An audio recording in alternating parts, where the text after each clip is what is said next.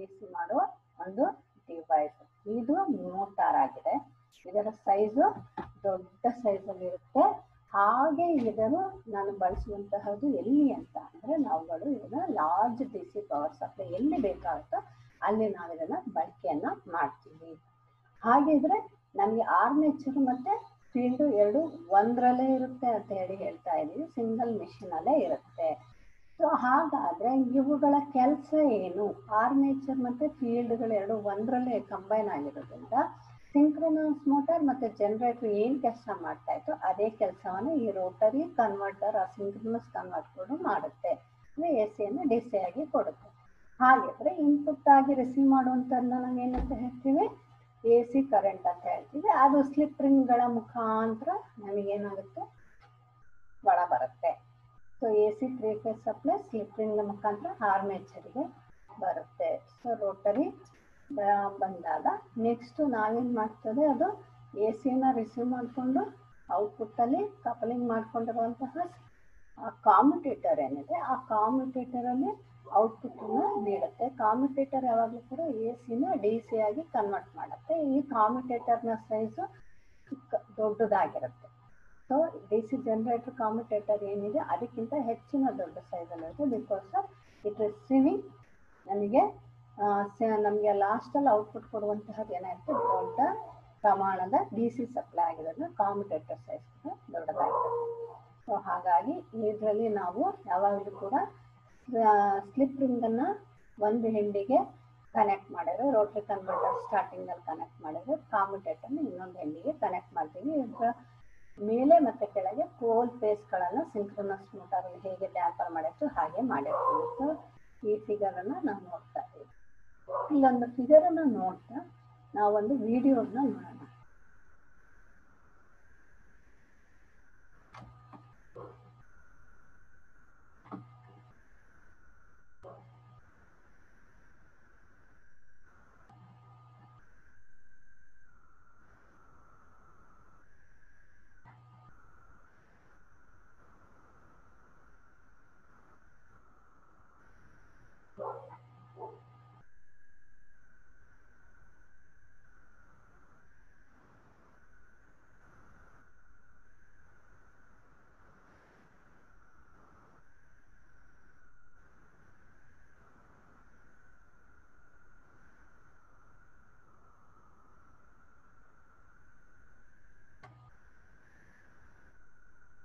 So ಏನು ಈ video ನೋಡ್ತಾ ಇದ್ದೀವಿ ಈ ವಿಡಿಯೋದಲ್ಲಿರುವಂತಹದ್ದೇ ನನಗೆ ರೋಟರಿ ಕನ್ವರ್ಟರ್ ಸಿಂಕ್ರೋನಸ್ ಕನ್ವರ್ಟರ್ ಅಂತ ಹೇಳಿ ಹೇಳ್ತೀವಿ ಮಕ್ಕಳ ಇಲ್ಲಿ ಕಾಣ್ತಿರುವಂತಹದ್ದು ಹೊರಭಾಗದಲ್ಲಿ ಇದು ದೊಡ್ಡ ಸೈಜಿನ motor that is synchronous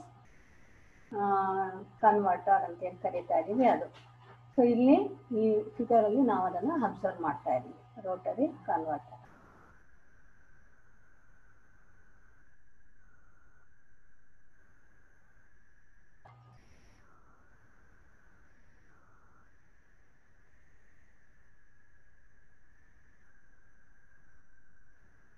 so ಇದು ದೊಡ್ಡ ಪ್ರಮಾಣದ ಡಿ ಸಿ ಸಪ್ಲೈಯನ್ನು ಔಟ್ಪುಟ್ ಆಗಿ ನೀಡುವಂತಹ ಒಂದು ರೋಟರಿ ಕನ್ವರ್ಟರ್ ಇವನ್ನೆಲ್ಲ ಟ್ರಾನ್ಸ್ಮಿಷನ್ ಅಂಡ್ ಡಿಸ್ಟ್ರಿಬ್ಯೂಷನ್ ಕಡೆ ಬಳಕೆಯನ್ನ ಮಾಡ್ತೀವಿ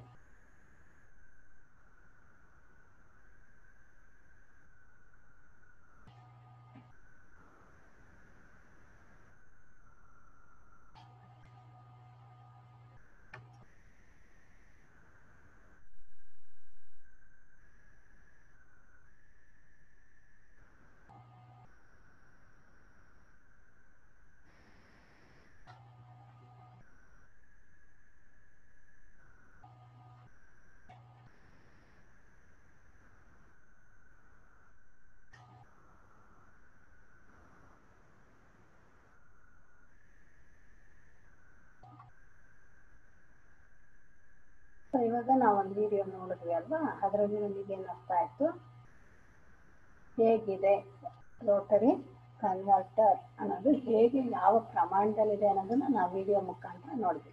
ಕಾಣಿಸ್ತಲ್ಲ ಎಲ್ಲರಿಗೂ?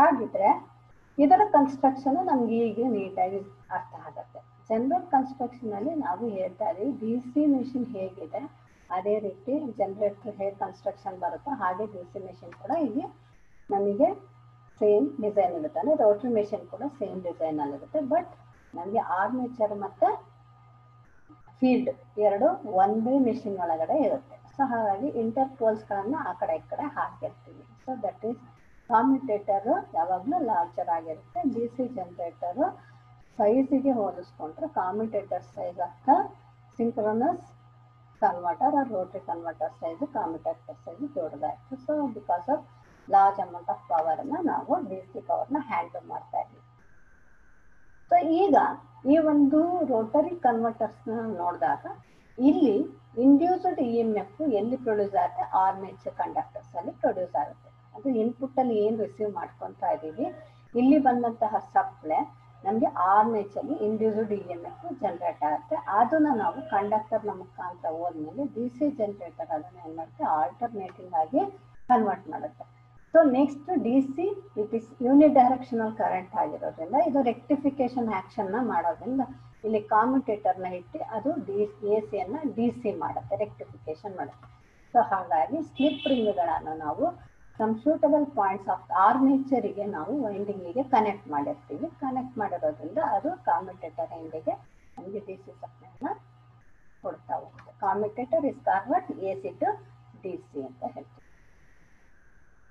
ಸೊ ಹಾಗಾದ್ರೆ ನೆಕ್ಸ್ಟ್ ನಾವು ನೋಡೋಣ. ರೋಟರಿ ಕನ್ವರ್ಟರ್ ಇಸ್ ಆಲ್ಮೋಸ್ಟ್ಲಿ ಲ್ಯಾಪ್ನ ಹೊಂದಿರುತ್ತೆ. ಅಂದ್ರೆ ವೇವ್ ವೈಂಡಿಂಗ್ ಲ್ಯಾಪ್ ವೈಂಡಿಂಗ್ ಅಂತ ತಿಳ್ಕೊಂಡಿದ್ವಲ್ಲ ವೈಂಡಿಂಗ್ ಅಲ್ಲಿ ಇದರಲ್ಲಿ ಲ್ಯಾಪ್ ವೈಂಡಿಂಗ್ ಅನ್ನ ಹೊಂದಿರುತ್ತೆ.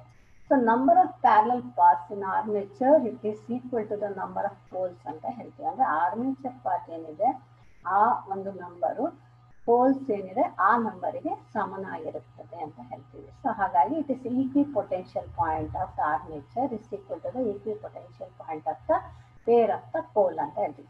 ಎಷ್ಟು ಆರ್ಮೇಚರ್ ಇಟ್ಟಿರ್ತೀರೋ ಅಷ್ಟೇ ನಂಬರ್ ಆಫ್ ಪೋಲ್ಸ್ ಈಕ್ವಲ್ ಆಗುತ್ತೆ ಅದಕ್ಕೆ ಈಕ್ವಿ ಪೊಟೆನ್ಷಿಯಲ್ ಪಾಯಿಂಟ್ ಅಂತ ಹೇಳಿ ಕರಿತೀವಿ. ಸೊ ದಟ್ ಇಷ್ಟು ಆದ್ಮೇಲೆ ನಮಗೆ ಗೊತ್ತಾಗಲ್ಲ ಸ್ಲಿಪ್ ರಿಂಗ್ಗಳನ್ನ ಯಾವಾಗಲೂ ಆರ್ಮೇಚರ್ನ ಸ್ಟಾರ್ಟಿಂಗ್ ಪಾಯಿಂಟ್ಗೆ ನಾವು ಟ್ಯಾಪಿಂಗ್ ಮಾಡಿರ್ತೀವಿ. ಸೊ ಒಂದು ಮೋಟಾರ್ಸ್ ಅಲ್ಲಿ ನಾವು ಗಮನಿಸ್ತೀವಿ. So next out it is operation so normal ಆಗಿ ನಾವು ನೋಡಿದ ಹಾಗೆ ಮೆಷಿನ್ ಏನಾಯ್ತು? ಎ ಸಿ ಸಪ್ಲೈಗೆ ಕನೆಕ್ಟ್ ಆಗಿತ್ತು. ಸೊ ಸ್ಲಿಪ್ ರಿಂಗ್ ಅದನ್ನ ರಿಸೀವ್ ಮಾಡ್ಕೋತಾ ಇದೆ ಎ ಸಿ ಸಪ್ಲೈನ ಆ್ಯಂಡ್ ಈ ಒಂದು ಡಿ ಸಿ ಸಪ್ಲೈಯನ್ನು ಡಿ ಸಿ ಅಂದರೆ ಡೈರೆಕ್ಟ್ ಕರೆಂಟ್ ಏನಿದೆ, ಇದನ್ನು ಕಾಮ್ಯುಟೇಟರ್ಗೆ ನೇರವಾಗಿ ಕಾಮ್ಯುಟೇಟರಿಂದ ಪಡಿತೀವಿ. ಹಾಗಾದ್ರೆ ಇದನ್ನ ನಾವು ಎಲ್ಲಿ ಬಳಕೆ ಮಾಡ್ತೀವಿ ಅಂತ ಅಂದ್ರೆ ಸೊ ಡಿ ಸಿ ನಾವು ಹೆಚ್ಚು ಪವರ್ ಸಪ್ಲೈ ಎಲ್ಲಿ ಬೇಕು ಅನ್ಸುತ್ತೆ, ಅಲ್ಲಿ ನಾವು ಅದನ್ನು ಕನೆಕ್ಟ್ ಸೊ ನೆಕ್ಸ್ಟ್ ಬಂದು ಮರ್ಕ್ಯುರಿ ಆರ್ಕ್ ರೆಕ್ಟಿಫೈಯರ್ ಅಂತ ಹೇಳ್ತೀವಿ. ಸೊ ಈ ಮರ್ಕ್ಯುರಿ ಆರ್ಕ್ ರೆಕ್ಟಿಫೈಯರ್ನ ನಾವು ಹೇಳಿದ ತಕ್ಷಣ ನಿಮಗೆ ಗೊತ್ತಾಗಬೇಕಾಗಿರೋದೇನಪ್ಪ ಅಂದ್ರೆ ಇಲ್ಲಿ ಬಳಸುವಂತಹ ರೆಕ್ಟಿಫೈರ್ ಬಳಸುವಂತಹ ಒಂದು ವಸ್ತು ಮರ್ಕ್ಯುರಿ ಆಗಿದೆ, ಪಾದರಸ ಅಂತ ಹೇಳ್ತೀವಿ. ಪಾದರಸ ಅಂತ ಹೇಳ್ತೀವಿ. ಈ ಮರ್ಕ್ಯುರಿ ಆರ್ಕ್ ಆರ್ಕ್ ಇಸ್ ಕಿಡಿ ಅಂತ ಹೇಳ್ತೀವಿ. ಮರ್ಕ್ಯುರಿಯಿಂದ ಕಿಡಿಯನ್ನು ಉತ್ಪತ್ತಿ ಮಾಡ್ತೀವಿ. ಅದರಿಂದ ರೆಕ್ಟಿಫಿಕೇಶನ್ ಆಗುತ್ತೆ ಇದು ಬಳಕೆ ಆಗೋದು ಎಲ್ಲಿ ಅಂದ್ರೆ ರೈಲು, ರೈಲ್ ಇದೆಯಲ್ಲ ಟ್ರೈನ್ಸ್ ಇದೆಯಲ್ಲ, ಆ ಟ್ರೈನ್ಗಳಲ್ಲಿ ಹಳೆಯ ಟ್ರೈನ್ಗಳಲ್ಲಿ ಇದನ್ನ ಬಳಕೆಯನ್ನ ಮಾಡ್ತಾ ಇದ್ದಾರೆ ಸೊ ನಾನೊಂದು ಸಿಂಗಲ್ ಫೇಸ್ ಮರ್ಕ್ಯುರಿ ಆರ್ಕ್ ರೆಕ್ಟಿಫೈರ್ನ ಇಲ್ಲಿ ನಿಮಗೆ ಫಿಗರ್ ಅಲ್ಲಿ ತೋರಿಸ್ತಾ ಇದ್ದೇನೆ. ಇಲ್ಲಿ ಎ ಸಿ ಸಪ್ಲೈನ ನಾವು ಏನ್ ಮಾಡ್ತಾ ಇದೀವಿ ಒಂದು ಟ್ರಾನ್ಸ್ಫಾರ್ಮರ್ಗೆ ಕೊಡ್ತಾ ಇದೀವಿ ಆ ಟ್ರಾನ್ಸ್ಫಾರ್ಮರ್ನ ಸೆಕೆಂಡರಿಯನ್ನು ತಗೊಂಡ್ಬಂದು ನಾವು ಒಂದು ಎಲೆಕ್ಟ್ರೋ ಮ್ಯಾಗ್ನೆಟಿಕ್ ಸಪ್ಲೈ ಅನ್ನ ನಾವು ಒಂದು ನೀಡಬೇಕಾಗತ್ತೆ. ಅಲ್ಲಿಂದ ನೆಕ್ಸ್ಟ್ ಒಂದು ಸ್ವಿಚ್ ಕನೆಕ್ಟ್ ಮಾಡಿ ಅದೊಂದು ಪುಷ್ ಬಟನ್ ಸ್ವಿಚ್ ಅನ್ನ ಇಡ್ತೀವಿ. ಅದಾದ್ಮೇಲೆ ಆ ಸೆಕೆಂಡರಿ ಸೈಡನ್ನು ಮತ್ತೊಂದು ಲಿಂಕ್ ಅನ್ನ ತಗೊಂಡ್ಬಂದು ನಾವು ಮರ್ಕ್ಯುರಿ ಕ್ಯಾಥೋಡ್ ಟರ್ಮಿನಲ್ ಅಂತ ಹೇಳ್ತೀವಿ. Anode positive terminal cathode negative terminal ಅಂತ ಹೇಳ್ತೀವಲ್ಲ? ಸೊ ಇದು ಮರ್ಕ್ಯುರಿ ಟ್ಯೂಬ್ ಗ್ಲಾಸ್ ಟ್ಯೂಬ್ ಇದು ಮರ್ಕ್ಯುರಿ ಗ್ಲಾಸ್ ಟ್ಯೂಬ್ ಈ ಮರ್ಕ್ಯುರಿ ಗ್ಲಾಸ್ ಟ್ಯೂಬ್ ಅಲ್ಲಿ ನೆಗೆಟಿವ್ ಸೈಡ್ ಅನ್ನ cathode that is the mercury ಕ್ಯಾಥೋಡ್ಗೆ connect ಮಾಡ್ತೀವಿ. ಸೆಕೆಂಡರಿ ಆಕ್ಸಿಲರಿ ಯಾವುದು? ಟ್ರಾನ್ಸ್ಫಾರ್ಮರ್ನ ಸೆಕೆಂಡರಿ ಪಾರ್ಟ್ ಅನ್ನ. ನೆಕ್ಸ್ಟ್ ಇನ್ನೊಂದು ಮತ್ತೆ ಏನ್ ಮಾಡ್ತೀವಿ ಅಂದ್ರೆ ಇಲ್ಲಿ ಆನೋಡ್ ಅಂತ ಹೇಳ್ತೀವಿ. ಆನೋಡ್ ಇಲ್ಲಿ ಎರಡು ವಿಧದ ಆನೋಡ್ ಬರುತ್ತೆ. ಎರಡು ಆನೋಡ್ಗಳನ್ನ ಹೊಂದಿರುತ್ತೆ ಈ mercury tube so A anode B anode ಅಂತ ಹೇಳಿ ಕರಿತೀವಿ. ಇವು ನಮಗೆ ಟ್ರಾನ್ಸ್ಫಾರ್ಮರ್ನ ಔಟ್ಪುಟ್ ಸೈಡ್ ಏನಿದೆ ಸೆಕೆಂಡರಿ ಸೈಡಿಗೆ ಕನೆಕ್ಟ್ ಆಗುತ್ತೆ ಸೊ ಹಾಗಾಗಿ ಅದರಿಂದ ಇನ್ನೊಂದು ಪಾರ್ಟನ್ನ ನಾವು ಕಂಬೈನ್ ಮಾಡ್ಕೊಂಡು ಹೊರಗೆ ತರ್ತೀವಿ. ಸೊ ಟೋಟಲ್ ಆಗಿ ನಾವು ಈ ಸರ್ಕ್ಯೂಟ್ ಅಲ್ಲಿ ಆಪ್ರೇಟ್ ಆದ ತಕ್ಷಣ ಎ ಸಿ ಸಿಂಗಲ್ ಇಂದ ನಾನು ಸಪ್ಲೈ ಅನ್ನ ಕೊಟ್ಟ ತಕ್ಷಣ ಇಲ್ಲೇನಾಗುತ್ತೆ ಪುಷ್ ಬಟನ್ ಸ್ವಿಚ್ ಇದೆ. Input signal A C supply ಅನ್ನ ಕೊಡ್ತಾ ಇದ್ದೀವಿ ವೇವ್ ಫಾರ್ಮ್ಸ್ ಅಲ್ಲಿ ನೋಡ್ತಾ ಇದ್ದೀರಾ. ಔಟ್ಪುಟ್ ಬಂದು ಡಿ ಸಿ ಸಪ್ಲೈ ಬರ್ತಾ ಇದೆ. ಇಲ್ಲಿ ಒಂದೇ ಸೈಡ್ ಅಲ್ಲಿ ಬರ್ತಾ ಇದೆಯಲ್ಲ ಸೊ ದಟ್ ಈಸ್ ರೆಕ್ಟಿಫಿಕೇಶನ್ ಆಗಿ ಬರ್ತಿರೋಂಥ ಡಿ ಸಿ ಸಪ್ಲೈ ಎ ಸಿಯನ್ನ ಡಿ ಸಿ ಮಾಡ್ಕೊಳ್ಳೋದಕ್ಕೆ ಮರ್ಕ್ಯುರಿ ಆರ್ಕ್ ರೆಕ್ಟಿಫೈಯರ್ನ ನಾವು ಬಳಕೆ ಮಾಡ್ತಾ ಇದ್ದೀವಿ. ಸೊ ಹಾಗಾಗಿ ಯಾವಾಗ ಇದಕ್ಕೆ ಪವರ್ ಸಪ್ಲೈ ಸಿಗುತ್ತೋ, ಇದು ಎಲೆಕ್ಟ್ರಾನ್ಸ್ನ ಎಮಿಟ್ ಮಾಡಿಕೊಂಡು ಆ್ಯನೋಡ್ ಕಡೆಯಿಂದ ಕ್ಯಾಥೋಡ್ ಕಡೆಗೆ ಕ್ಯಾಥೋಡ್ ಕಡೆಯಿಂದ ಆ್ಯನೋಡ್ ಕಡೆಗೆ ನಮಗೆ ಆ ಒಂದು ಆರ್ಕನ್ನು ಪ್ರೊಡ್ಯೂಸ್ ಮಾಡುತ್ತೆ. ಆಗ ನಮಗೆ ಇಗ್ನೇಷನ್ ಆನೋಡ್ ಕಡೆಯಿಂದ ನಮಗೆ ಸಪ್ಲೈ ಬಂದಾಗ ಇಲ್ಲಿ ಡಿ ಸಿ ವೋಲ್ಟೇಜ್ ಸಿಗುತ್ತೆ ಪ್ರೊವೈಡ್ ಆಗುತ್ತೆ. ಸೊ ಹಾಗಾಗಿ ಈ ರೀತಿಯಾಗಿ ಮರ್ಕ್ಯುರಿ ಆರ್ಕ್ ರೆಕ್ಟಿಫಿಕೇಶನ್ ನಾವಿಲ್ಲಿ ಮಾಡ್ತೀವಿ. ಸೊ ಇದು ನಾವು ಸೆಂಟರ್ ಟ್ಯಾಪ್ ಟ್ರಾನ್ಸ್ಫಾರ್ಮರ್ನ ಬಳಕೆ ಮಾಡಿರ್ತಾರೆ ಇದು ಸೊ ಹಾಗಾಗಿ ಇದು ಎ ಸಿಯನ್ನು ಕೊಟ್ಟರೆ ಡಿ ಸಿ ಆಗಿ ಬರುತ್ತೆ. ಈ ಥರ ಒಂದು ವೇವ್ ಫಾರ್ಮ್ ನಾನು ತೋರಿಸಿದ್ವಿ ಒಂದು ಸಣ್ಣ ವಿಡಿಯೋನ ನಾನು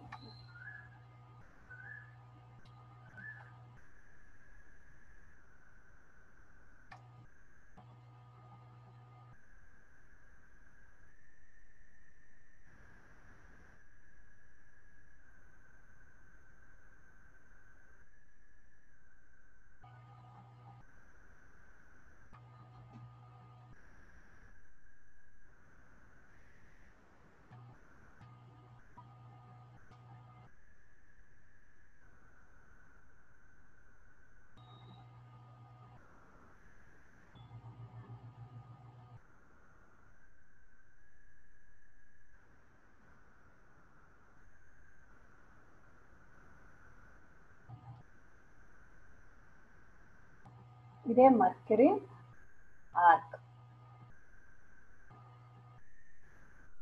Mercury arc, rectifier. Glass tube.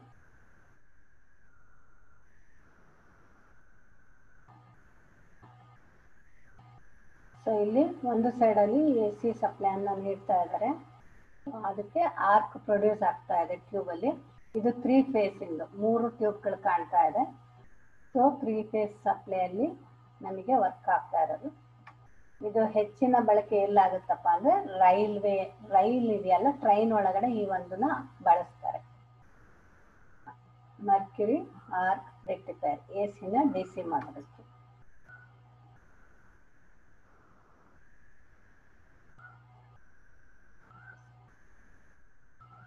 So ಆನೋಡಿಂದ ಕ್ಯಾಥೋಡ್ ಕಡೆಗೆ ರೇಸ್ಗಳು ಹೋಗ್ತಾ ಇರೋದನ್ನ ನೋಡ್ಬೋದು.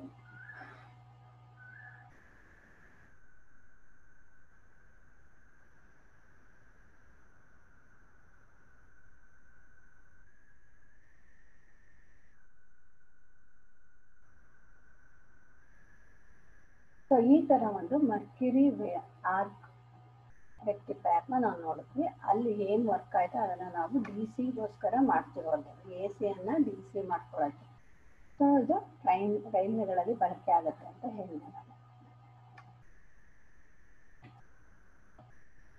ಸೊ ಹಾಗಾದ್ರೆ ನಾವು ಈಗ ನಾವು, ನಮ್ಮಲ್ಲಿ ನಾವು ಏನನ್ನ ತಿಳ್ಕೊಬೇಕಪ್ಪ ಅಂತ ಅಂದ್ರೆ, ಈ ಫಿಗರ್ಸ್ ಅಲ್ಲಿ ನಾವು ನೋಡಿದಾಗ ಅರ್ಧ ವಿಷಯ ನಮಗೆ ತಿಳಿತು. ಜನರಲ್ ಆಗಿ ರೆಕ್ಟಿಫೈಯರ್ ಅಂತ ಅಂದ್ರೆ ಏನು? ಇದೊಂದು ಡಿವೈಸ್ ಇದೇನನ್ನ ಕನ್ವರ್ಟ್ ಮಾಡುತ್ತೆ? ಎ ಸಿಯನ್ನು ಡಿ ಸಿ ಆಗಿ ಕನ್ವರ್ಟ್ ಮಾಡುತ್ತೆ. ಫ್ಲಕ್ಚುಯೇಟಿಂಗ್ ಎ ಸಿ ಕರೆಂಟ್ ಅನ್ನ ನಮಗೆ ಫ್ಲಕ್ಚುಯೇಟಿಂಗ್ ಡಿ ಸಿ ಕರೆಂಟ್ ಆಗಿ ಕನ್ವರ್ಟ್ ಮಾಡಿದೆ. ಸೊ ಹಾಗಾಗಿ ಸೊ ನಾವು ಇದನ್ನ ಏನು ಮಾಡ್ತೀವಿ? ಈ ತರ ಎ ಸಿನ ಡಿ ಸಿ ಮಾಡೋದಕ್ಕೆ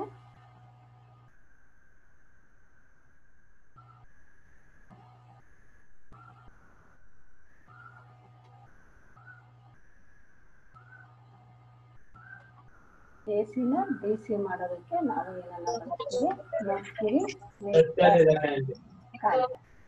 ಸೊ ಹಾಗಿದ್ರೆ ಎ ಸಿನ ಡಿ ಸಿ ಮಾಡೋದಕ್ಕೆ ಮರ್ಕ್ಯುರಿಯನ್ನು ಕೂಡ ಬಳಸ್ತೀವಿ ಅಂತ ಗೊತ್ತಾಯ್ತು. ಹಾಗಾದ್ರೆ ಏನಿದು ಅಡ್ವಾಂಟೇಜಸ್ ಆ ರೋಟ್ರಿ ಕನ್ವರ್ಟರ್ ಮತ್ತೆ ಎನ್ ಜಿ ಸೆಟ್ಟಿಗೂ ಎಲ್ಲ ಹೋಲಿಸ್ಕೊಂಡ್ರೆ ಏನು ಅಡ್ವಾಂಟೇಜಸ್ ಅಪ್ಪ ಅಂತ ಅಂದ್ರೆ ಇದು ಸೆಮಿ ಕಂಡಕ್ಟರ್ ಡಯೋಡ್ ಆಗಿರೋದ್ರಿಂದ ನನಗೇನಾಗುತ್ತೆ ಇವೆಲ್ಲವನ್ನು ಕೂಡ ಈಗ ನಾವು ರೀಸೆಂಟ್ ಆಗಿ ನಾವೆಲ್ಲ ಡಯೋಡ್ಗಳನ್ನ ಬಳಸ್ತಾ ಇದ್ದೀವಿ ಸೊ ಎಂ ಜಿ ಸೆಟ್ ಅನ್ನೋದು ದೊಡ್ಡ ಪ್ರಮಾಣದಲ್ಲಿ ಜಾಗವನ್ನು ತಗೊಳುತ್ತೆ. ರೋಟ್ರಿ ಕನ್ವರ್ಟರ್ ಕೂಡ ನೋಡಿದ್ವಿ ನಾವು. ತುಂಬಾನೇ ದೊಡ್ಡ ಜಾಗವನ್ನ ಮತ್ತೆ ಫೈನಾನ್ಷಿಯಲ್ ಅಲ್ಲಿ ಜಾಸ್ತಿ ಖರ್ಚು ಬೀಳುತ್ತೆ. ಆದರೆ ನಾವು ಸೆಮಿಕಂಡಕ್ಟರ್ ಡಿವೈಸ್ಗಳನ್ನ ತಗೊಂಡ್ರೆ ನಾವು ಅದು ಡಯೋಡ್ಗಳನ್ನ ಅಂತ ಹೇಳ್ತೀವಿ ಅಲ್ವಾ? ಇವುಗಳನ್ನ ಕಂಡುಹಿಡಿಯೋಕ್ಕಿಂತ ಮುಂಚೆ ನಮಗೆ M G set rotary converters mercury arc ರೆಕ್ಟಿಫೈಯರ್ಸ್ಗಳನ್ನ ಬಳಕೆ ಮಾಡ್ತಾ ಇದ್ವಿ. ಸೊ ಹಾಗಾಗಿ ಕಾಸ್ಟ್ ತುಂಬಾನೇ ಜಾಸ್ತಿ ಆಗ್ತಾ ಇತ್ತು. ಬಟ್ ಈಗ ನಾವು ಯೂಸ್ ಮಾಡ್ತಾ ಇರೋದು ಸಿಂಪಲ್ ಒಂದು ಡಯೋಡ್ ಅಥವಾ ಎಸ್ ಸಿ ಆರ್ಗಳನ್ನ ಹಾಕೊಂಡು ಎ ಸಿನ ಡಿ ಸಿ ಆಗಿ ಸಣ್ಣ ಜಾಗದಲ್ಲಿ ಸಣ್ಣ ಪ್ರಮಾಣದ ಪವರ್ ಸಪ್ಲೈನ ಕೊಟ್ಟರೆ ನಮಗೆ ಡಿ ಸಿ ವೋಲ್ಟೇಜ್ ಬರುತ್ತೆ. ಅದನ್ನು ನಾವು ಆಲ್ರೆಡಿ ಮಾಡಿದ್ದೀವಿ ಪ್ರಾಕ್ಟಿಕಲಿ ಪ್ರೂವ್ ಮಾಡ್ಕೊಂಡಿದ್ದೀವಿ ಸೊ ಈ comparison of S M G set rotary converter and rectifiers ಇವುಗಳನ್ನು ನಾವು ಕಂಪೇರ್ ಮಾಡ್ತಾ ಹೋಗೋಣ. ಸೊ ಏನೇನು ಕಂಪ್ಯಾರಿಸನ್ ಇದೆಯಪ್ಪ ಅನ್ನೋದಾದ್ರೆ ಕನ್ವರ್ಟರ್ಗಳಲ್ಲಿ ಮೆಷಿನರಿ ಅಂತ ಬಂದಾಗ ಇಲ್ಲಿ ರೆಕ್ಟಿಫೈಯರ್ ಇಲ್ಲಿ. ಇನ್ನೊಂದು ಎಂ ಜಿ ಸೆಟ್ ಇನ್ನೊಂದು ರೋಟ್ರಿ ಕನ್ವರ್ಟರ್ ಅಂದ್ರೆ ಆರ್ಕ್ ರೆಕ್ಟಿಫೈಯರ್ ಇದೆಯಲ್ಲ ಇಲ್ಲಿ ಮೂವಿಂಗ್ ಇರುತ್ತಾ? ಸೊ ನಾವು ನೋಡಿದ ಹಾಗೆ ಈಗ ಮರ್ಕ್ಯುರಿ ಆರ್ಕ್ ಅಂತ ಏನಿದೆ, ಅದು ರೊಟೇಟಿಂಗ್ ಆಗೋದಿಲ್ಲ. ಯಾವುದೇ ಪಾರ್ಟ್ಸ್ ರೊಟೇಟಿಂಗ್ ಆಗೋದಿಲ್ಲ. ಮರ್ಕ್ಯುರಿ ಆರ್ಕ್ ರೆಕ್ಟಿಫೈಯರ್ ಆದರೆ ಎಂ ಜಿ ಸೆಟ್ಗಳೇನಿದೆ ಇದರಲ್ಲಿ ನಮಗೆ ಟೂ ಮೆಷಿನ್ಸ್ಗಳನ್ನ ಅಳವಡಿಸಿರ್ತಾರೆ, ಅವು ಮೂವಿಂಗಲ್ಲಿ ಹಾಕ್ತವೆ ಯಾಕಂದ್ರೆ ಅಲ್ಲಿ ಫೀಲ್ಡು ರೊಟೇಟ್ ಆಗುತ್ತೆ ಮತ್ತೆ ಆರ್ಮೇಚರ್ ಅಲ್ಲಿ ಮ್ಯಾಗ್ನೆಟಿಕ್ ಫೀಲ್ಡ್ ರೊಟೇಟ್ ಆಗ್ತಾ ಇರುತ್ತೆ. ಸೊ ಹಾಗಾಗಿ ಇದು ಮೂವಿಂಗ್ ಅಲ್ಲಿ ಇರುತ್ತೆ. ಇನ್ನೊಂದು ರೋಟ್ರಿ ಕನ್ವರ್ಟರ್ ಎರಡು ಮೆಷಿನ್ ಬದಲು ಒಂದೇ ಒಂದು ಮೆಷಿನ್ ಅನ್ನು ಹೊಂದಿರುತ್ತೆ. ಸಿಂಗಲ್ ಮೆಷಿನ್ ಅಲ್ಲೇ ನಮಗೆ ಯಾವುದು ಫೀಲ್ಡ್ ಇರುತ್ತೆ ಮತ್ತೆ ಆರ್ಮೇಚರ್ ಇರುತ್ತೆ. ಹಾಗಾಗಿ ಇದು ಒಂದು ಕನ್ವರ್ಟ್ ಕಂಪ್ಯಾರಿಸನ್ ಮಾಡ್ತಾ ಇದ್ದೀನಿ. ನೆಕ್ಸ್ಟ್ ಕಾಸ್ಟಿಗೆ ಬಂದರೆ M G set rotary converter rotary converter size ನೋಡಿದ ತಕ್ಷಣನೇ ಗೊತ್ತಾಗ್ತಾ ಇದೆ, ದೊಡ್ಡದಿರೋದ್ರಿಂದ ಕಾಸ್ಟ್ಲಿ ಅಂತ ಹೇಳ್ತೀವಿ. ಎಂ ಜಿ ಸೆಟ್ಟು ಎರಡೆರಡು ಮೆಷಿನ್ ತರಬೇಕಾಗಿರೋದ್ರಿಂದ ಜನರೇಟರ್ ಮತ್ತು ಮೋಟ್ರ್ ಎರಡೂ ತರಬೇಕಾದ್ರೆ ಇದು ವೆರಿ ಕಾಸ್ಟ್ಲಿ ಆಗುತ್ತೆ. ಬಟ್ ರೆಕ್ಟಿಫೈಯರ್ ಏನಿದೆ ಇಟ್ ಇಸ್ ಚೀಪ್ ಸೊ ಕಡಿಮೆ ಆಗುತ್ತೆ. ಸೊ ಒಂದೇ ಪಾರ್ಟ್ಸಲ್ಲಿ ಆಗೋದ್ರಿಂದ. ಸೊ ನಾಯ್ಸ್ ಅಂದರೆ ಇದ್ರದ್ದು. ಶಬ್ದ ನಾವು ರನ್ ಮಾಡ್ತೀವಲ್ಲ, ಅವಾಗ ನಾಯ್ಸ್ ಬರುತ್ತಾ ಅಂತ ಹೇಳಿ. ಇದರಲ್ಲಿ ನಾಯ್ಸ್ ಬರಲ್ಲ. ರೆಕ್ಟಿಫೈರ್ ಅಲ್ಲಿ ಯಾವುದೇ ಸೌಂಡ್ ಆಗಲ್ಲ. ಆದ್ರೆ ಎಂ ಜಿ ಸೆಟ್ ಅಥವಾ ರೋಟಿನ ನಾವು ಆನ್ ಮಾಡಿದ್ರೆ ಆ ಮೋಟಾರ್ಸ್ಗಳಿರೋದ್ರಿಂದ ಶಬ್ದ ಜಾಸ್ತಿ ಬರುತ್ತೆ. ಎಫಿಷಿಯನ್ಸಿ ಹೇಗಿದೆ? ದಕ್ಷತೆ ವರ್ಕ್ ಹೇಗಿದೆ ಅನ್ನೋದಾದ್ರೆ rectifier it is very good ಇದು ನೈಂಟಿ ಫೈವ್ ಪರ್ಸೆಂಟ್ ಗುಡ್ ಅಂತ ಹೇಳ್ತೀವಿ. So next M G set ಬಂದರೆ it is a low very low efficiency ಅಂತ ಹೇಳ್ತೀವಿ. ರೋಟ್ರಿ ಕನ್ವರ್ಟರು ಲೋ ಎಫಿಷಿಯನ್ಸಿ ಅಂತ ಹೇಳ್ತೀವಿ. ಮೇಂಟೆನೆನ್ಸ್ ಕಾಸ್ಟ್ ಬಂದು ರೆಕ್ಟಿಫೈಯರ್ಗೆ ನಾವು ಡಯೋಡ್ ಇವೆಲ್ಲ ಬಳಸ್ತೀವಿ ಅಲ್ವಾ? ಅವೆಲ್ಲ ಕಾಸ್ಟ್ ಅಂತ ನಮಗೆ ಮೇಂಟೆನೆನ್ಸ್ ಜಾಸ್ತಿ ಆಗಲ್ಲ ಲೋ ಕಾಸ್ಟ್ ಆಗುತ್ತೆ. But M G set rotary converter ಎರಡು ಕೂಡ ಮೇಂಟೆನೆನ್ಸ್ ಮಾಡೋದು ಕಾಸ್ಟ್ ಇಸ್ ವೆರಿ ಹೈ ಅಂತ ಹೇಳ್ತೀವಿ. ಓವರ್ ಲೋಡಿಂಗ್ ಕೆಪಾಸಿಟಿ ಯಾವುದಕ್ಕೆ ಹೆಚ್ಚು ಓವರ್ ಲೋಡಿಂಗ್ ಹಾಕೋದಪ್ಪ ಅಂದರೆ ಓನ್ಲಿ ರೆಕ್ಟಿಫೈಯರ್ಗೆ ನಾವು fifty percent up to fifty percent overload ಮಾಡ್ಬೋದು. ಬಟ್ ಈಗ ರೋಟ್ರಿ ಮತ್ತು ಎಂ ಜಿ ಸೆಟ್ ಎರಡಕ್ಕೂ ಕೂಡ ಓವರ್ಲೋಡಿಂಗ್ ಮಾಡೋಕ್ಕೆ ಸಾಧ್ಯ ಇಲ್ಲ. ಇನ್ನು power factor of A C ನಾವು ಯಾವುದೇ ಸಿಂಕ್ರನಸ್ ಮೋಟಾರ್ ಯೂಸ್ ಮಾಡ್ತೀವಿ ಅಂದರೆ ಪವರ್ ಫ್ಯಾಕ್ಟರ್ ಇಂಪ್ರೂವ್ಮೆಂಟ್ ಮಾಡೋಕ್ಕೆ ಅಂತ ಹೇಳಿ ತಿಳ್ಕೊಂಡಿದ್ದೀವಿ ಈ ಎ ಸಿ ಪವರ್ ಫ್ಯಾಕ್ಟರ್ನ ಇಂಪ್ರೂವ್ ಮಾಡೋದಕ್ಕೆ ನಾವು ರೆಕ್ಟಿಫೈಯರಲ್ಲಿ ಲೋ ಪವರ್ ಫ್ಯಾಕ್ಟರ್ ಅಂತ ಹೇಳ್ತೀವಿ. ಹಾಗೆ M G ಸೆಟ್ಟಲ್ಲೂ low power factor improvement but ಈ ರೋಟ್ರಿ ಕನ್ವರ್ಟರಲ್ಲಿ ಗುಡ್ ಪವರ್ ಫ್ಯಾಕ್ಟರ್ ಇಂಪ್ರೂವ್ಮೆಂಟ್ ಆಗುತ್ತೆ. So next alternative during this operation ಇದ್ರ ಬಿಟ್ಟು ನಾವು ಇದರಲ್ಲಿ ನಾವು ಅಟೆನ್ಷನ್ ಏನಾದ್ರು ತಗೋಬೇಕಾ? ನಾವು ರೆಕ್ಟಿಫೈಯರ್ಸನ್ನ ನಾವು ಯೂಸ್ ಮಾಡ್ತಾ ಇದ್ದೀವಿ. ಅದರಲ್ಲಿ ಏನಾದ್ರು ಅಟೆನ್ಷನ್ ತಗೋಬೇಕು ಅಂದರೆ ನಾವು constant attention is required in rectifier ಅದು ತುಂಬ ಅಬ್ಸರ್ವ್ ಮಾಡ್ತಾ ಇರ್ತೀವಿ ಇವುಗಳಿಗೆ ಎಂ ಜಿ ಸೆಟ್ಗೆ ಅಷ್ಟೊಂದು ಅಟೆನ್ಷನ್ ಬೇಡ ಲೆಸ್ ಅಟೆನ್ಷನ್ ಅಂದ್ರೆ ನಾವು ಅದನ್ನು ಅಷ್ಟೊಂದು ಅಬ್ಸರ್ವ್ ಮಾಡ್ಕೊಂಡು ನಿಂತ್ಕೊಳ್ಳೋದು ನೋಡೋ ಅವಶ್ಯಕತೆ ಇಲ್ಲ. ಬಟ್ ರೋಟ್ರಿ ಏನಿದೆ ಅದಕ್ಕೆ ಅಟೆನ್ಷನ್ ರಿಕ್ವೈರ್ಮೆಂಟೇ ಬೇಡ. ತಾನಷ್ಟು ತಾನೇ ನೀಟಾಗಿ ರನ್ ಆಗ್ತದೆ. ಸ್ಪೇಸ್ ರಿಕ್ವೈರ್ಮೆಂಟ್ ರೆಕ್ಟಿಫೈರಿಗೆ ನಮಗೆ ಸ್ಪೇಸು ಈಗ ನೋಡಿದ್ವಲ್ಲ ಮರ್ಕ್ಯುರಿ ಹಾರ್ಕ್ ರೆಕ್ಟಿಫೈರ್ ಅಂತ. ಆ ಸ್ಪೇಸ್ ರಿಕ್ವೈರ್ಮೆಂಟ್ ಬಂದಾಗ ದಿಸ್ ಹೈ ರಿಕ್ವೈರ್ಮೆಂಟ್ ಬೇಕಾದ್ರೆ ಅದಕ್ಕೂ ಜಾಗ ಜಾಸ್ತಿ ಬೇಕು. ಎಂ ಜಿ ಸೆಟ್ಟಿಗೂ ವೆರಿ ಹೈ ರೋಟ್ರಿ ಸೆಟ್ಗೆ ಲೋ ಅಂತ ಹೇಳ್ತೀವಿ ಕಂಪೇರ್ ಟು ಇವೆರಡಕ್ಕೂ ಬಂದಾಗ ರೋಟ್ರಿ ಸೆಟ್ ಲೋ ಸ್ಪೇಸನ್ನು ರಿಕ್ವೈರ್ಮೆಂಟ್ ಅಂತ ಹೇಳ್ತೀವಿ this is the comparison between rectifier M G set and rotary converter ಇವಿಷ್ಟೂ ನಾವು ಎ ಸಿಯನ್ನು ಡಿ ಸಿ ಮಾಡೋಕ್ಕೆ ಎಲೆಕ್ಟ್ರಿಷನಲ್ಲಿ ಬಳಸುವಂತಹ ಒಂದು ವಿಧಾನಗಳು. ಇಲ್ಲ, ನಾವು ಈ ಮೆಷಿನ್ಸ್ಗಳನ್ನೆಲ್ಲ ರನ್ ಮಾಡ್ತಾ ಈಗ ಪ್ರತಿದಿನ ನಾವು ರನ್ ಮಾಡ್ತಾ ಇದ್ದೀವಿ ಹಾಗೆ ಇವನ್ನ ಮೇಂಟೆನೆನ್ಸ್ ಮಾಡಬೇಕಾದ್ರೆ maintenance of M G set maintenance of M G set ಏನೇನು ಮೇಂಟೆನೆನ್ಸ್ ಮಾಡಬೇಕಪ್ಪ ಅಂತ ಅಂದರೆ, ನಾವು ಇದನ್ನ ಎಲೆಕ್ಟ್ರಿಕಲಲ್ಲಿ ಯೂಸ್ ಮಾಡ್ತಾ ಇದ್ದೀವಿ. ಪವರ್ ಸಪ್ಲೈನ ಹಾಗಾಗಿ ಮೊದಲು ಪವರ್ ಸಪ್ಲೈ ಇನ್ಸ್ಪೆಕ್ಷನ್ಗಳನ್ನ ಮಾಡಬೇಕಾಗತ್ತೆ. ನಾವು ಜನರಲ್ ಆಗಿ ಇದನ್ನ ಯಾವಾಗ ಕ್ಲೀನ್ ಆಗಿರುವಂತಹ ಪ್ಯಾನಲ್ ಬೋರ್ಡ್ಗಳನ್ನ ಇಟ್ಕೊಂಡಿರ್ಬೇಕು. ಎಲೆಕ್ಟ್ರಿಕಲ್ ಕಾಂಪೊನೆಂಟ್ಸು ಕ್ಲೀನಾಗಿ ಇಟ್ಕೊಂಡಿರ್ಬೇಕು. ಇದನ್ನ ನಾವು ಎಲೆಕ್ಟ್ರಿಕಲ್ ಇನ್ಸ್ಪೆಕ್ಷನ್ ಅಲ್ಲಿ ಮೊದಲನೇ ಪಾಯಿಂಟ್ ನಾವು ನೋಡ್ತೀವಿ. ಹಾಗೆ ಮೋಟಾರ್ ಏನಿದೆ, ಅದರ ಇನ್ಸುಲೇಷನ್ ರೆಸಿಸ್ಟೆನ್ಸ್ ಅಂತ ಹೇಳ್ತೀವಿ. ಅದನ್ನ ನಾವು ಮೆಗ್ಗರ್ ಯೂಸ್ ಮಾಡಿಕೊಂಡು without power supply megger use ಮಾಡ್ತಿದ್ದೀವಿ ಅಂದರೆ ಯಾವುದೇ ಪವರ್ ಸಪ್ಲೈ ಕನೆಕ್ಟ್ ಮಾಡ್ದಲೇನೆ ಸೊ ಅವುಗಳನ್ನು ಇಂಟರ್ನಲ್ ಕನೆಕ್ಷನ್ಸ್ಗಳನ್ನು ನಾವು ಚೆಕ್ ಇನ್ ಮಾಡ್ಬೇಕು. In between armature to body field to body ಈ ಮತ್ತೆ ಹರ್ತ್ ಅರ್ತ್ ಟು ಬಾಡಿ ಇವನ್ನೆಲ್ಲ ನಾವೇನು ಮಾಡ್ತಾ ಹೋಗುತ್ತೆ ಚೆಕ್ ಮಾಡ್ತಾ ಹೋಗ್ತೀವಿ. ಸೊ ಮೆಥಡಲ್ಲಿ ನಾವು ಅದನ್ನು ಚೆಕ್ ಮಾಡಬೇಕಾಗುತ್ತೆ. ರೆಸಿಸ್ಟೆನ್ಸನ್ನು ಚೆಕ್ ಆಗುತ್ತೆ. ಮೆಗರ್ ಯೂಸ್ ಮಾಡ್ಕೊಂಡು ಮಾಡಿದಾಗ. So next rectify earth wiring earth wiring ಅಂತ ಏನು ನಾವು ಬಾಡಿಗೆ ಕೊಟ್ಟಿರ್ತೀವಿ, ಅದು ನಾವು ಯಾವಾಗಲೂ ಕೂಡ ಟೆಸ್ಟ್ ಲ್ಯಾಂಪ್ ಯೂಸ್ ಮಾಡ್ತೀವಿ. ಆ ಟೆಸ್ಟ್ ಲ್ಯಾಂಪ್ ಟೆಕ್ನಿಕಲ್ಲಿ ನಮಗೆ ಲ್ಯಾಂಪ್ ಹತ್ತಿದ್ರೆ ಬಾಡಿ ಟು ರೋಟರಿ ಅಥವಾ ಬಾಡಿ ಟು ಆರ್ನೇಚರ್ ಈ ಥರ ನಾವು ಪಾಯಿಂಟಲ್ಲಿ ಹಿಡಿದು ನೋಡಿದಾಗ ಬಲ್ಬ್ ಹತ್ತಿದ್ರೆ ದಟ್ ಈಸ್ ಹರ್ತಿಂಗ್ ಆಗ್ತಾ ಇದೆ. ಸೊ ಸಪ್ಲೈ ಕೊಟ್ಟಾಗ ಹರ್ತಿಂಗ್ ಎಫೆಕ್ಟ್ ಇದೆ ಏನಾದ್ರೆ ಕರೆಂಟ್ ಶಾಕ್ ಹೊಡೆಯೋ ಸಾಧ್ಯತೆ ಇರುತ್ತೆ ಅದನ್ನು ನಾವು ಚೆಕ್ಕಿಂಗಲ್ಲಿ ಕಂಡುಹಿಡಿದು ಸರಿಪಡಿಸ್ಕೋಬೇಕು. ನೆಕ್ಸ್ಟು ಮೇನ್ ಸ್ವಿಚ್ ಫ್ಯೂಸಸ್ಗಳು ಸರಿಯಾಗಿದೆಯಾ ಅಂತೇಳಿ ರೆಕ್ಟಿಫೈ ಮಾಡ್ಕೋಬೇಕಾದ್ರೆ ಎಲೆಕ್ಟ್ರಿಕಲ್ ಸಪ್ಲೈಯಲ್ಲಿ ನಾವು ನೋಡ್ಬೇಕಾದ್ರೆ ಸ್ಟೇಟರ್ ನೆಕ್ಸ್ಟ್ ಸ್ಟೇಟರ್ ಮತ್ತು ಬ್ರಷ್ಗಳು ಸರಿ ಇದೆಯಾ ಹೇಳಿ ನಾವು ನೋಡ್ಕೋಬೇಕು.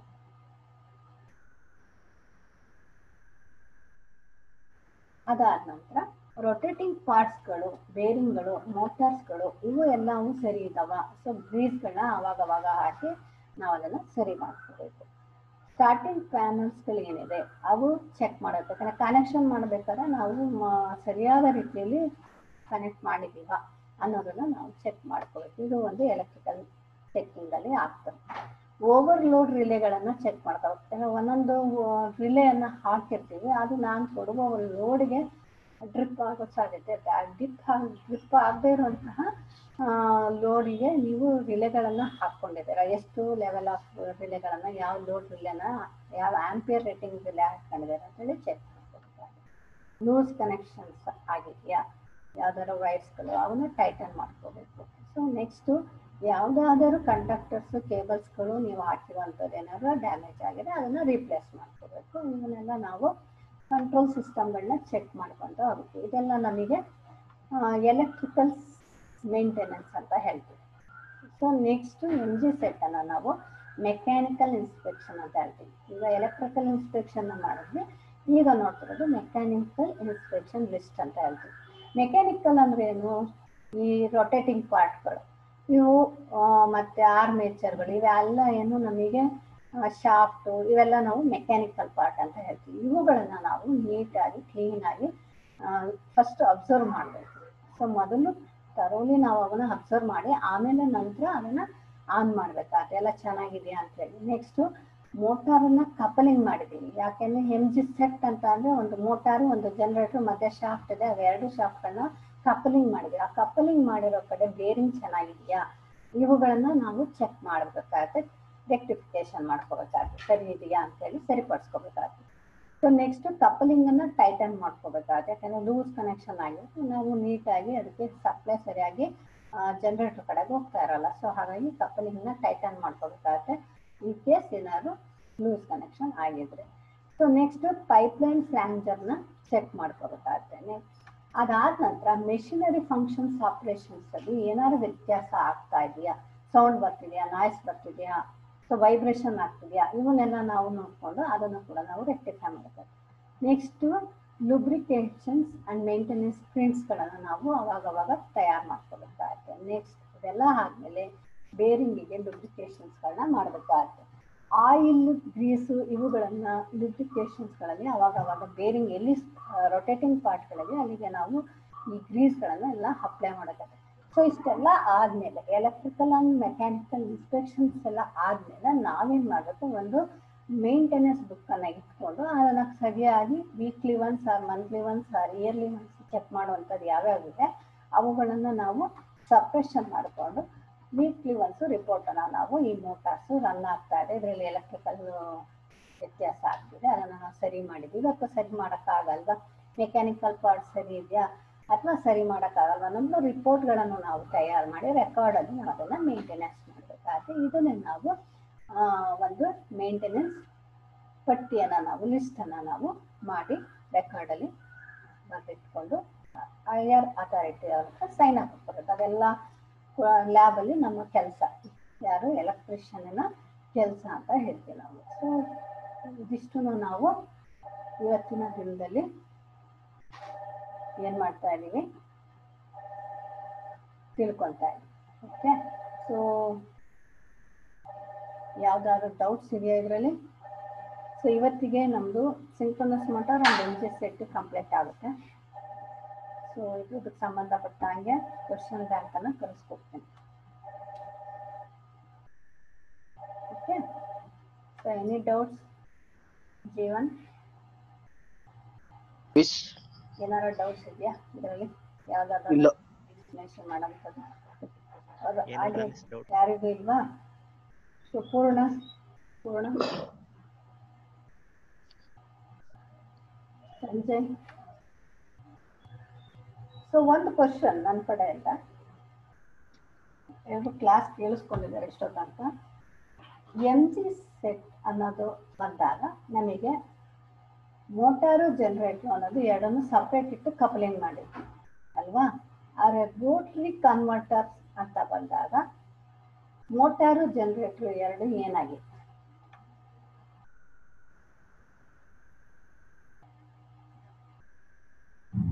ಯಾರ್ಯಾರು ಆನ್ಸರ್ ಮಾಡ್ಬೋದು?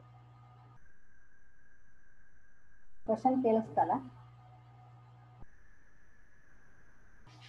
ರೋಟರ್ ಕನ್ವರ್ಟರ್ ಅಂತ ಅಂದಾಗ ಮೋಟಾರು ಜನರೇಟರ್ ಎರಡು ಏನಾಗಿರುತ್ತೆ? ಸಪ್ರೇಟ್ ಆಗಿರುತ್ತಾ ಕಂಬೈನ್ ಆಗಿರುತ್ತೆ?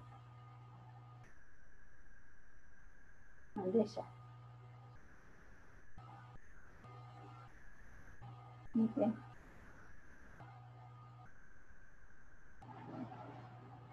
ಓಕೆ ಸೊ ಮೋಟರ್ ಮತ್ತೆ ಜನರೇಟರ್ ಅಂತ ಏನ್ ಹೇಳ್ತೀವಿ? ಇಲ್ಲಿ ರೋಟ್ರಿ ಕನ್ವರ್ಟರ್ ಅಲ್ಲಿ ಎರಡು ಕೂಡ ಕಂಬೈನ್ ಆಗಿರುತ್ತೆ. ಸೊ ಆರ್ಮೇಚರ್ ಮತ್ತೆ ನಮಗೆ ಫೀಲ್ಡ್ ಎರಡು ಒಂದೇ ಮೋಟಾರ್ ಮಿಷಿನ್ ಕಡೆ ಇರುತ್ತೆ. Rotary converter so A C input ಅನ್ನ ರೋಟರಿಯಲ್ಲಿ ಯಾವುದಕ್ಕೆ ನೀಡ್ತೀವಿ? ಎ ಸಿ ಸಪ್ಲೈ ಅನ್ನ ರೋಟರ್ ಕನ್ವರ್ಟರ್ ಅಲ್ಲಿ ಯಾವುದಕ್ಕೆ ನೀಡ್ತೀವಿ